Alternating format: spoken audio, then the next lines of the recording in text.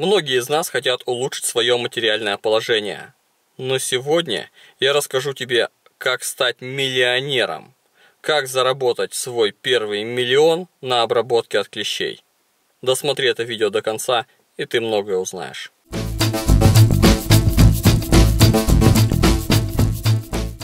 Да, многим не терпится уже как можно быстрее стать миллионерами, поэтому долго затягивать я не буду. Возьмите ручку, листочек бумаги и сейчас будем записывать. Обязательно пишите как можно более подробно. Ну и некоторую важную информацию я буду выводить на мониторы на ваши. Итак, для начала заходим в госзакупки. Да, есть несколько тендерных площадок, одни из самых распространенных это закупки ГОВ и так далее. Но их немало, но опять-таки не очень много. Как бы самые распространенные несложно выдаст практически любой поисковик. Далее Смотрим на тендера. Тендера смотрим по акарицидной обработке по своему городу. Потому что, конечно, соседний город ездить вам будет далековато. Ну и можете по другим ближайшим городам посмотреть. Я не буду рассказывать о том, как зарегистрироваться на этих площадках, о том, как открыть ИП, как открыть ООО, как получить электронную подпись, как получить аквет по дезинфекции, дезинфекции, дератизации, различные получения обучения корочек, работа с тендерами. Все это долго и сложно. И у нас сейчас просто на это нету времени, потому что нам надо зарабатывать свои миллионы. Итак, наша мечта уже совсем рядом. Мы находим наш город, выбираем его, я не буду говорить о всех городах, я расскажу лишь о примере своего города, в котором я живу. Ну и еще несколько других городов, которые я знаю, я их не буду называть, но там есть знакомые, там эти города я тоже смотрел по тендерам, и какая там ситуация. Итак, смотрите, мой город, население 180 тысяч человек. А, по акарицидной обработке это примерно 300 а, гектар.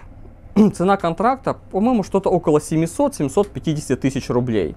Если взять город побольше населения, ну, к примеру, 300-500 тысяч человек, такие средние, много таких крупненьких достаточно городов, то, конечно, тут объем будет площадью совсем другие, большие, будет больше, где-то примерно 500 гектар вот, ориентировочно. Но опять-таки это тоже все зависит от парков, от скверов. То есть чем больше парков, тем больше площадь этого города. Может быть и такой же город, как у меня, население, ну, может быть площадь раза в два больше по аккредитивной обработке, а может быть и наоборот, меньше раза в два. Поэтому так усредненно, к примеру, возьмем город с площадью обработки по акарицидке, это 500 гектар. И вот он, миллион, а то и даже чуть-чуть больше рублей этот тендер будет стоить. И это супер. Итак, а теперь давайте начнем считать. А может не стоит считать? Нет, все-таки начнем. Это необходимо. Итак, для начала, что нам необходимо для того, чтобы выполнить эту работу и обработать территорию от клещей? Обработать ее качественно мы с вами не будем говорить, потому что в основном те, кто участвует в тендеры, слово «качество» оно имеет ну, более второстепенное значение. Не буду говорить обо всех, но в большинстве случаев это все-таки так. Итак, что же нам нужно для начала? Так, так, так, так, так. Ах да, Препарат. Да, препарат это такая достаточно неплохая статья расходов в этом.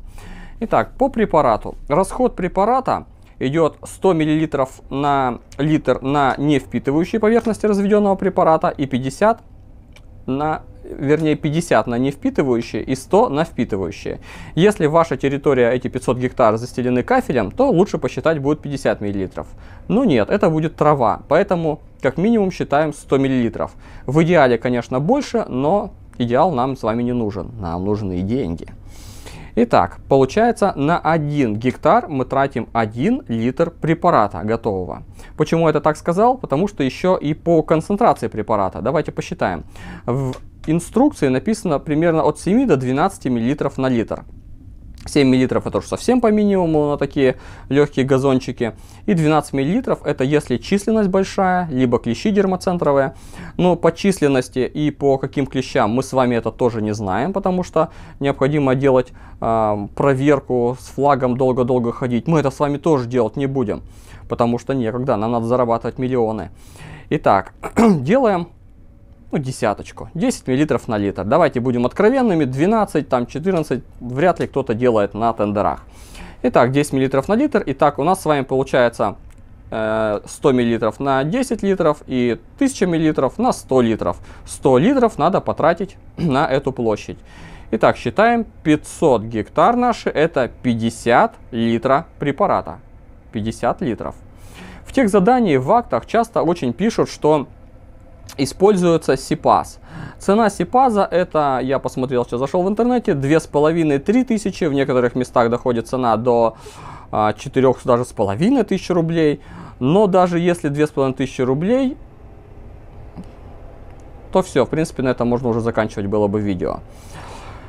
Итак, это получается на препарат нам ушло бы по минимуму примерно миллион двести пятьдесят, полтора миллиона рублей. Так, невыгодно, абсолютно невыгодно. Препараты ищем подешевле. Берем, как, к примеру, обычный циперметрин. Вот.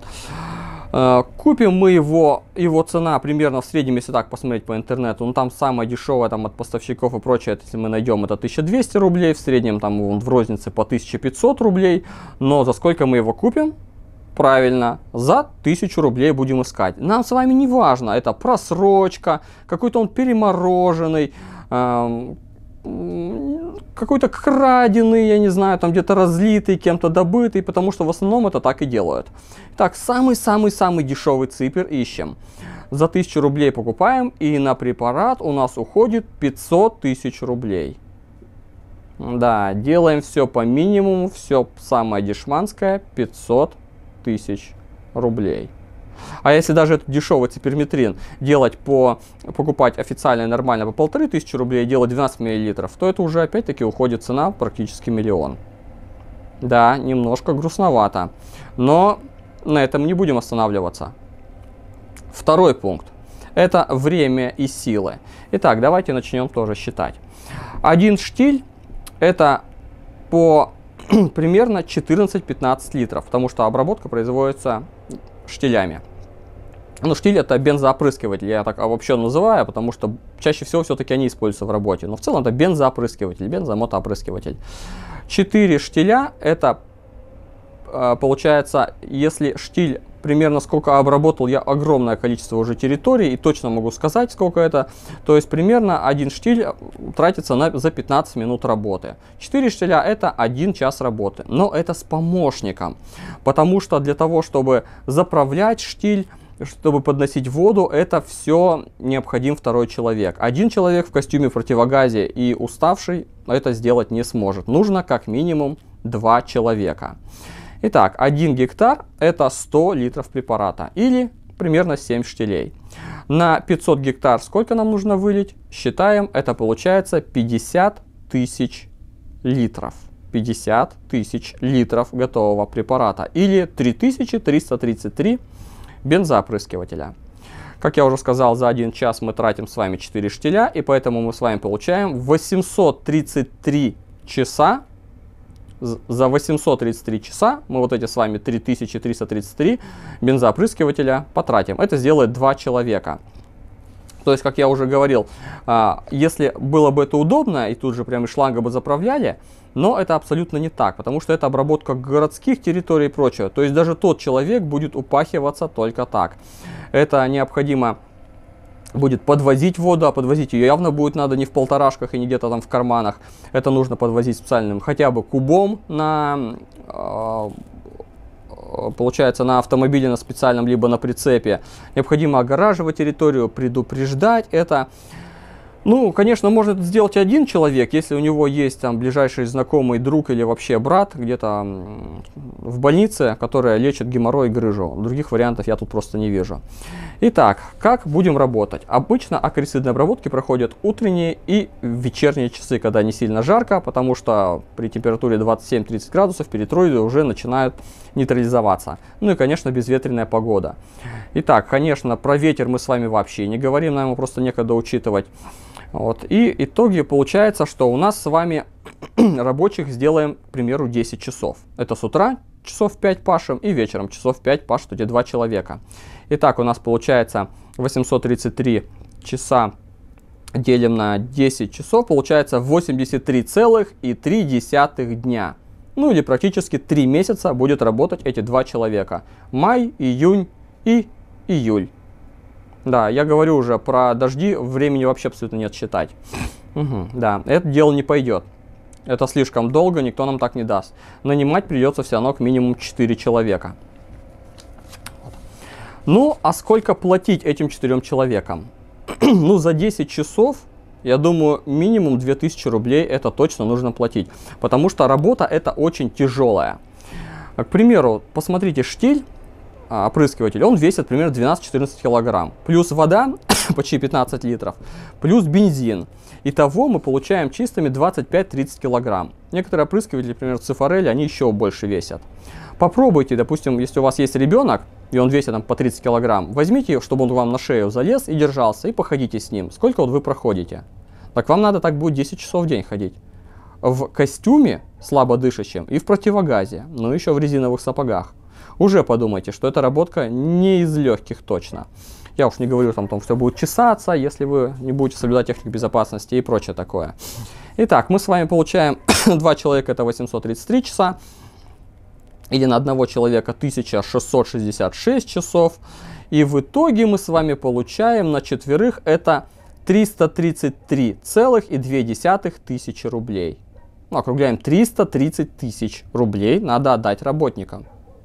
Меньше точно нет. Причем я говорю, что это не та работа, которая, ну, как, к примеру, мы с мастером делаем вдвоем, если ездим. Один на машине возит, другой обрабатывает, то есть один пока отдыхает. И в целом рабочего времени чистого там может вообще получиться 2-3 ну, часа в день. Тут нет, тут надо пахать. Вот 10 часов работы. Но все-таки, если мы с вами будем хоть как-то приближаться к закону и к человечности, сделаем, посчитаем 8 часов работы. И тогда получается необходимо, 8-часовая рабочая смена, и тогда нам необходимо будет заплатить 416 с половиной тысячи рублей мастерам. 416 с половиной тысячи рублей. Помните, да? И 500 рублей Наполеон еще препараты. Цена уже близится к миллиону. А теперь давайте посмотрим еще третий пункт. Налоги и остальные расходы также.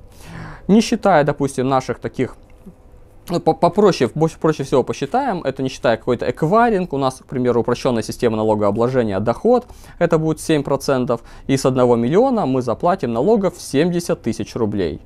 Вот они как раз 416 плюс 70 тысяч полмиллиона и на препараты полмиллиона. И вот он, миллиона-то уже получается-то и нету. Суммируем, да, 500 препараты, 416 работа, 70 налоги. Без копеечки миллион. А теперь давайте подумаем, какие другие затраты необходимо предпринять на наше с вами вот это интересное дело. Так, во-первых, это обеспечение контракта. Я давненько в этом деле уже в контрактах не участвую, поэтому я не буду говорить и не знаю, сколько это точно. Но чаще всего оно, насколько помню, необходимо. Также откат. Да, чтобы выиграть хороший тендер, некоторым приходится платить откаты. Э, что такое откаты? Э, да, кто-то скажет, что их не существует. Откаты, знаете, такие, машину ставят под колесо, чтобы она не откатывалась. Вот да, вот, вот такие откаты, к сожалению, не редкость и в наше время. Итак, средства индивидуальной защиты. Это костюм, который стоит тысяча, полторы рублей. Нормально, если костюм не в тряпочку или какую-нибудь мешковину одевать мастера. Нормальный костюм. Ненабедренная повязочка тоже не подойдет при этой работе. И этот костюм, причем чаще всего за 2-3 дня плодотворной работы он просто порвется. Их поэтому будет надо несколько.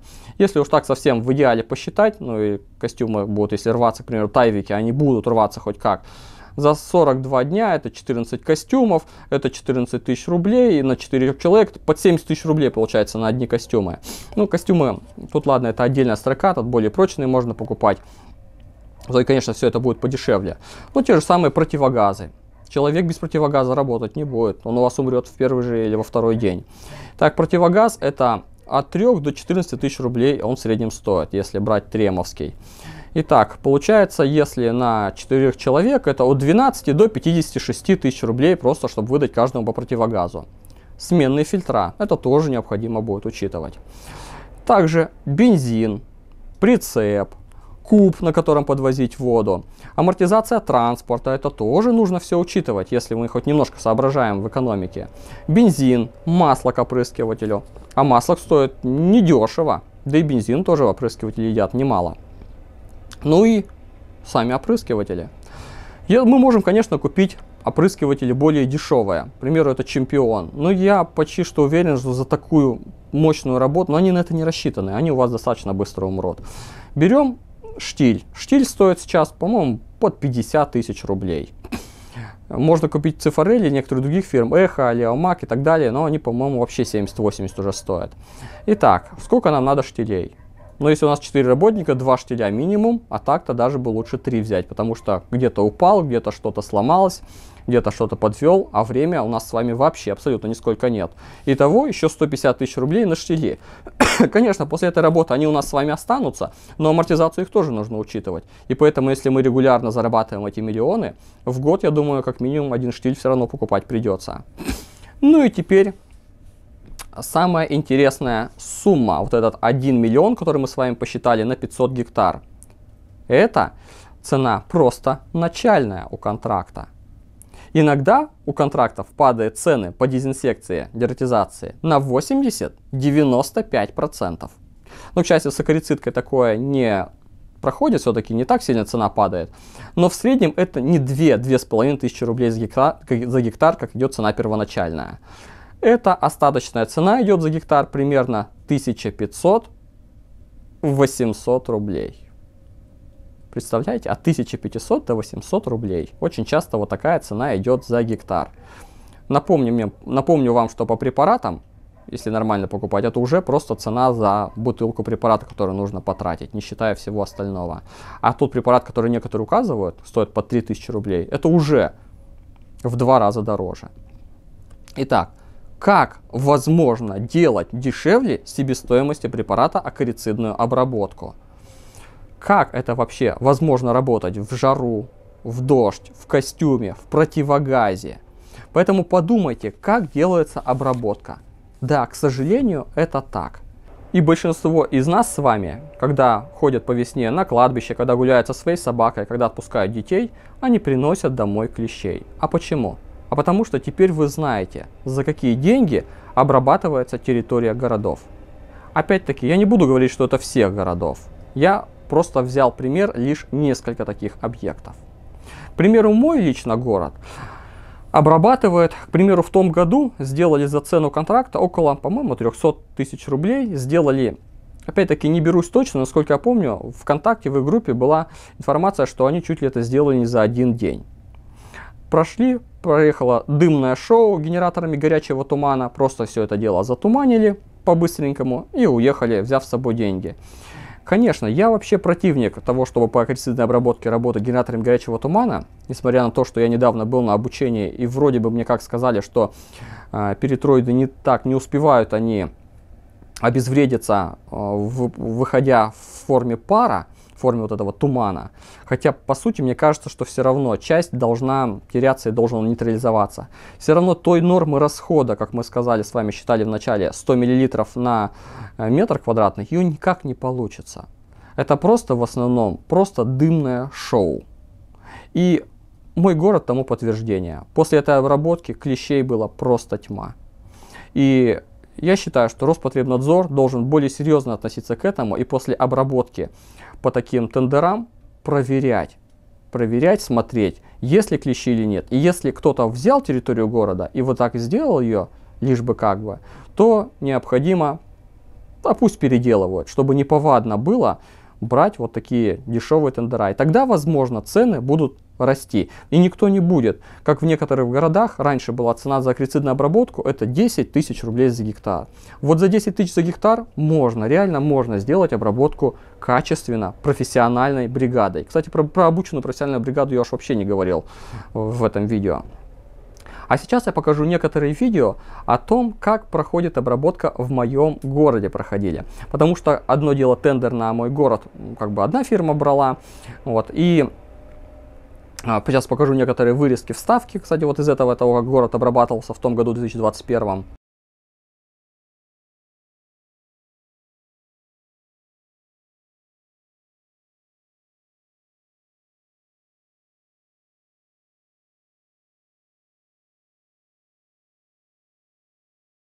А теперь посмотрите, такая ситуация. Поехали мы тоже с мастером на акрицидной обработке, и я встречаю вот такую картину обработка. Человек без защитного костюма, вообще в кепке. У него, по-моему, даже очков нету.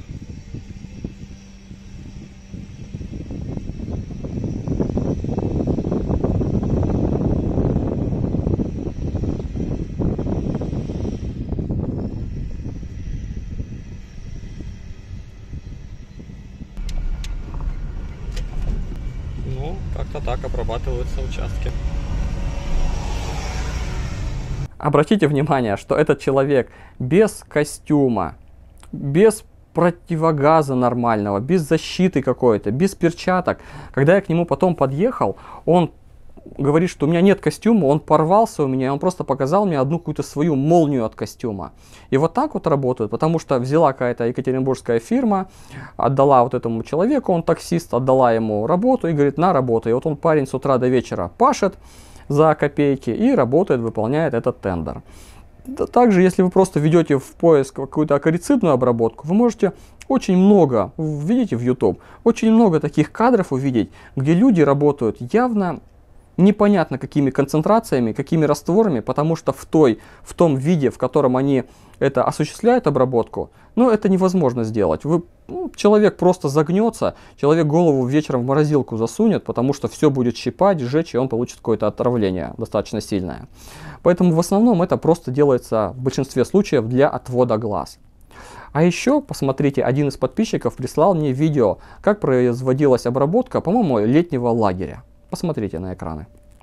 В разгар белого дня парень ходит, что-то поливает. Раз прошел, два прошел, дети бегают. Уважаемый, а вы от чего обработку делаете? От чего, говорю, обработку делаете? Сними наушники. От клещей. От клещей? Да. То есть вот сейчас, получается, в разгар э, белого дня вы здесь от клещей обрабатываете? Да. А каким препаратом? Ципериметрин.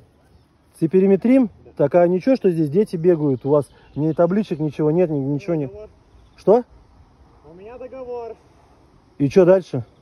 Ладно, я, короче, обрабатывать, а вы разговариваете с администрацией, окей? Не со мной. Я обычно рабочий. Я понял, как организация называется? Администрации. Я понял. А как зовут тебя? Артур. Артур, ты по договору сейчас циперметримом обрабатываешь э, в присутствии людей. Там прошелся, здесь прошелся. Я же вам сказал, если претензии не ко мне. Я сейчас без претензий. У тебя вообще есть э, какая-то квалификация? У тебя корочки есть дезинфектора? Так, короче, я погнал обрабатывать. Я больше не буду говорить, без обид. Просто все вопросы к администрации, не ко мне. Я обычный человек, обычный рабочий. Я вас понял. Вы рабочие этой конторы?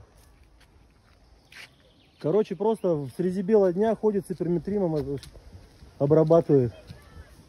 Просто травит людей. Ко мне, сынок.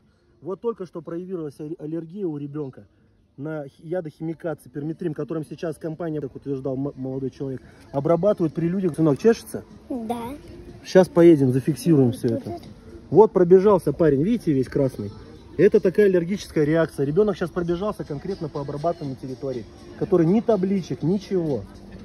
Отлично. И вот это еще одно наглядное подтверждение тому, как производится акарицидная обработка во многих местах. Но что делать, к примеру, в таком случае, подумают некоторые дезинфекторы.